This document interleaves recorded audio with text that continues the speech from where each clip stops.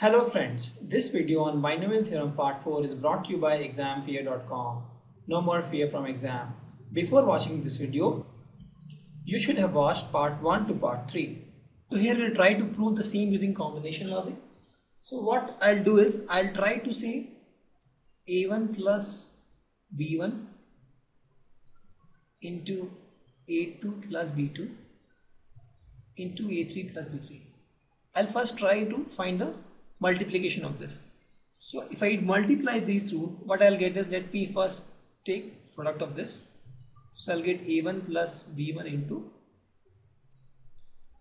a2 a3 plus multiply this with this plus a2 b3 a2 b3 plus b2 a3 b2 a3 plus b2 b3 now I need multiply a1 b1 with this.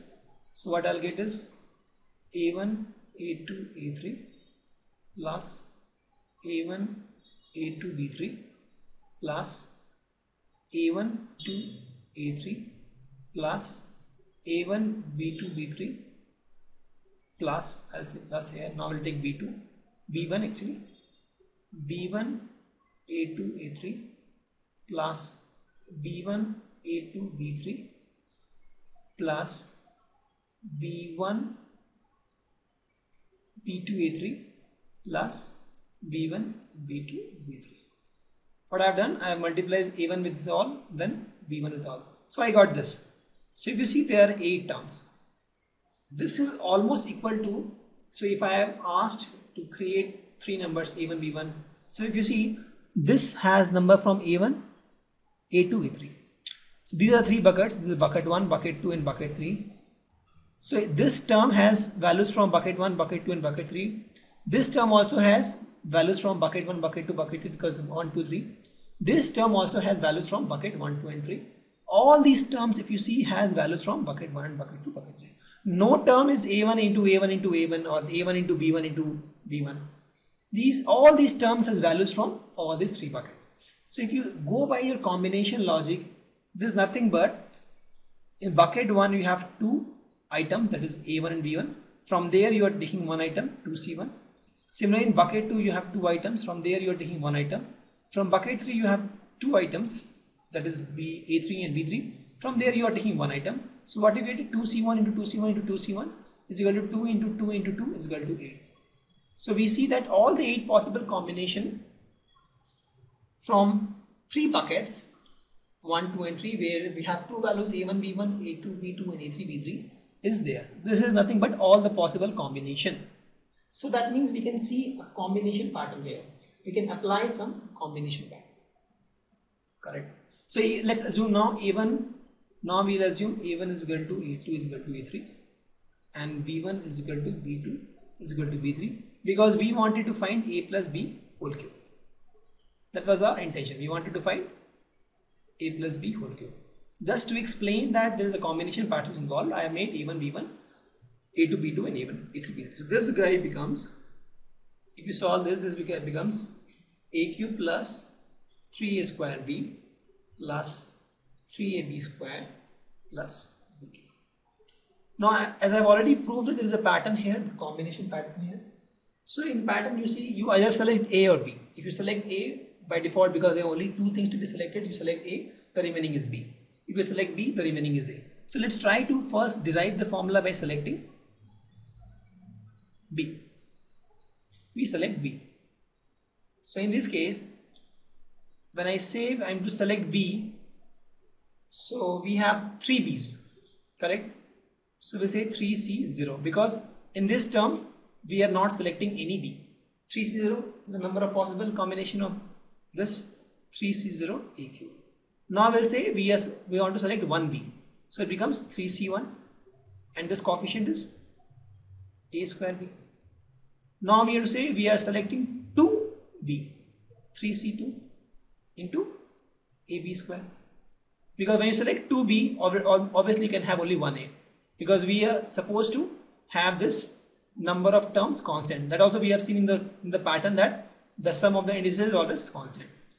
And now we have to select 3, 3b. So it becomes 3c3 into b cube. because if you have selected 3b we can't select a because we are to select only three numbers so what we have done the number of ways we can select 0b is 3c0 so in that case we'll get a, a cube the number of ways we can select 1b is 3c1 so there we'll get b into a square because the rest two term will be a the number of ways we can select 2b is 3c2 if we have selected 2c 2b we can have only one a.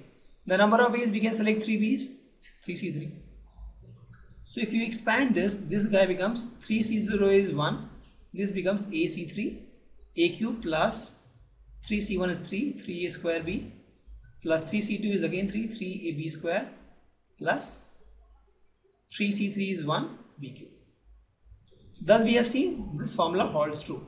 The same thing we are getting. This and this are same. Now again let, let's try with the selection of e because we can select a a also instead of b.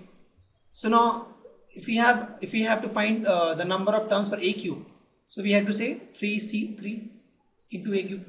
Because here we are trying to find the number of ways we can select 3 a's. That is 3c3 now we are supposed to find for 2 a's 2 a's that means 1b so it is 3c 2 a's. And now we'll see for 1a that will become 3c1 so obviously there will be 2b and then we'll have 0 a's. 0 a's will be 3c0 this will become b cube so if we solve this 3c3 is equal to a cube 1 plus 3c2 is equal to 3 3 into a square b. Plus 3c2 3c1 is equal to again 3 3ab square and this also becomes cube so if you see here also we get the same formula. Correct.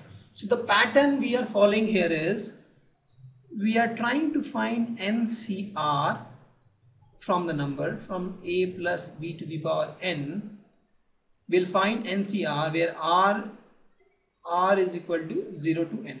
So here we'll say R is equal to 0 first we'll say then R is equal to 1 keep on doing for n. And then we'll say a to the power R the moment we say a to the power R B obviously becomes n minus R correct because we have selected A, the B is by default the part. And we have to find this thing from R is equal to 0 to N, we'll say summation R is equal to 0 to N. So this is nothing but the formula of A plus B to the power N. This we have derived using combination logic.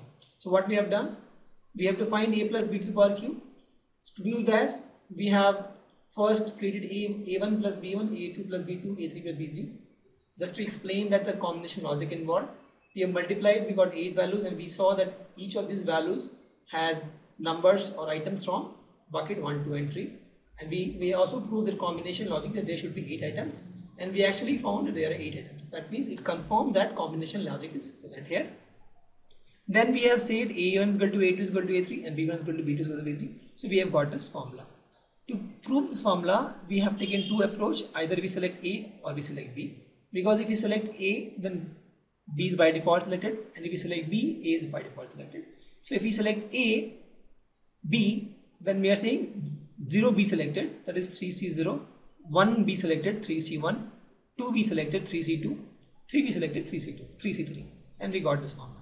When you say we select A, then when I say A cube, that means I'm selecting 3C, 3A, so it becomes 3C3. When I select, when I say A square, I say 3C2 because I am selecting 2A. When I say a to the power 1, I say 3c1 because I'm selecting only 1a. When I'm saying a to the power 0, I say 3c0. So we have seen the pattern and the pattern was you are doing nothing but you are trying to select a or b. Let's suppose in this case we are selecting a. a we are selecting from 0 to n. So we are saying 0 to n. So we are saying NCR a to the power r, b minus r b to the n minus r because when I say r is equal to 0, I'm saying nc0. When I'm saying r is equal to 1, I'm saying NC1. When I'm saying R is equal to 10, I'm saying NC10. So that's why we have got this formula from combination logic. So that's what we have seen that we have proved this combination formula using three, three uh, pattern. One using induction, the other using the pattern, and third using the combination logic. Let's review the binomial theorem formula once again. A plus B to the power n is equal to NC0 a to the power n. Increase the value of the NC0 to NC1 this becomes NC2 you keep increasing NCN minus 1 similarly B a you keep decreasing the value of a a n minus 1 a n minus 2 a n minus 3 and minus 4 to the a n minus a is equal to 1 and a is gone similarly for b this is b to the power 0 this become b to the power 1 this become b square you keep increasing this this becomes b to the power n minus 1 and this become b to the power n. So this is the formula. Also we can write this formula as summation of nck a to the power n minus k b to the power k where k is equal to 0 to n. We have proved this using combination logic also using induction and using pattern also we have observed that total number of terms in the expansion is n plus 1 so when you're saying a plus b to the power n so this will have n plus 1 term for a plus b to the power 2 is equal to 3 terms plus 2 plus 1 equal to 3 also the first quantity a goes decreasing where the power of second quantity increases we have seen a to the power n, a to the power n minus 1 goes decreasing, b to the power 0, b to the power 1, b to the power 2 it goes increasing. Also some of the coefficient of the a and b in any term is same. So if you see n plus 0 is n, n minus 1 plus 1 is n, n minus 2 plus 2 is n. Everywhere it's n. Here also in the common formula also you can see n minus k is equal to n minus k plus k is equal to. Thank you. Visit examfear.com to watch free educational videos, try free online test, get the best quality study material, study from the best tutor and mentors, and much more. Thanks once again.